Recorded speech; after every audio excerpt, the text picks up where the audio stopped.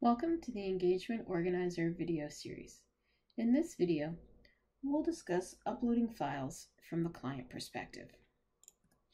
When the CPA firm creates an organizer, they must assign a client user. Once assigned, the client will get an email telling them that an organizer has been created, giving them the URL to access the organizer, and also providing the user ID. For the client to log in, they simply click on the link, type in their email, and if this is the first time they've logged in, they'll log in with a temporary password and they'll be asked to change that password.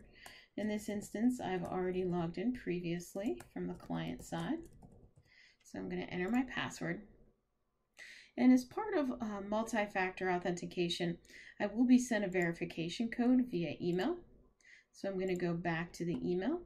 I'm going to go ahead and highlight my verification code, or you can just simply remember that. Come over here and type it in.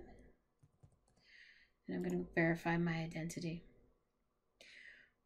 Once the client has logged in, they'll see the various organizers that they have access to. Typically, the firm will only have one organizer, so they'll only see one in that list.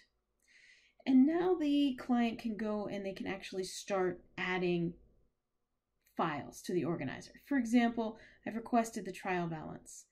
So they can come over here, they can add a note, they can add the attachments.